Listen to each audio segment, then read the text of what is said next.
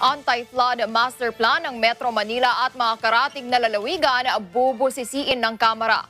Para sa detalye, magbabalita ng live si Vic Sumintak. Vic?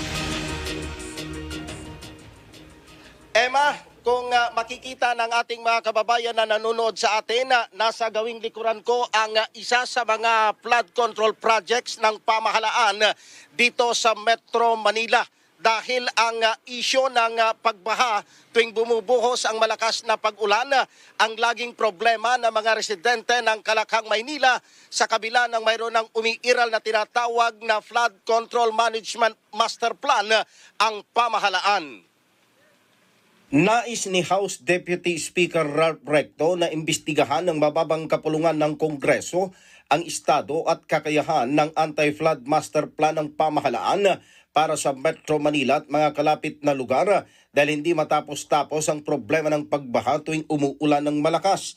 Dahil dito, inihain ni Recto ang House Resolution 224 na humihiling na magdaos ng investigation in aid of legislation ang House Committee on Public Works and Highways.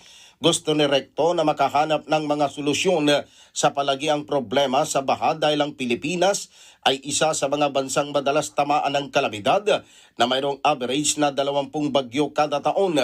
Inihayag ni Recto batay sa pag-asa mayroong weather condition ang bansa na tinatawag na habagat na karaniwang nararanasan tuwing buwan ng Hulyo hanggang Setyembre na nagdudulot ng malawakang pagbaha sa Metro Manila at iba pang karatig lugar. Sinabi ni Recto sa report ng Department of Public Works and Highways o DPWH, tatlo ang pangunahing rason ng pagbaha sa Metro Manila. Unang dahilan ng malaking volume ng tubig na nagmumula sa kabundukan ng Sierra Madre. Ikalawa, ang mga baradong kanal o drainage system. At ikatlo, ang presensya ng low-lying community sa Manila Bay at Laguna Lake. Sinabi ni Recto na mayroong 350 bilyong pisong pondo para sa roadmap ng pamahalaan sa Metro Manila Flood Management Master Plan na nakaprograma mula pa noong 2012 hanggang 2035.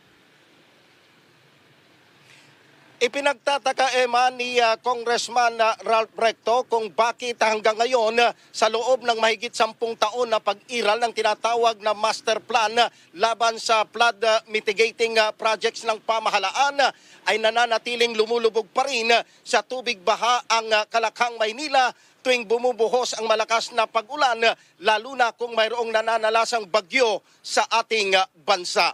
Balik sa inyo, Emma. Maraming salamat, Vic Sumintak.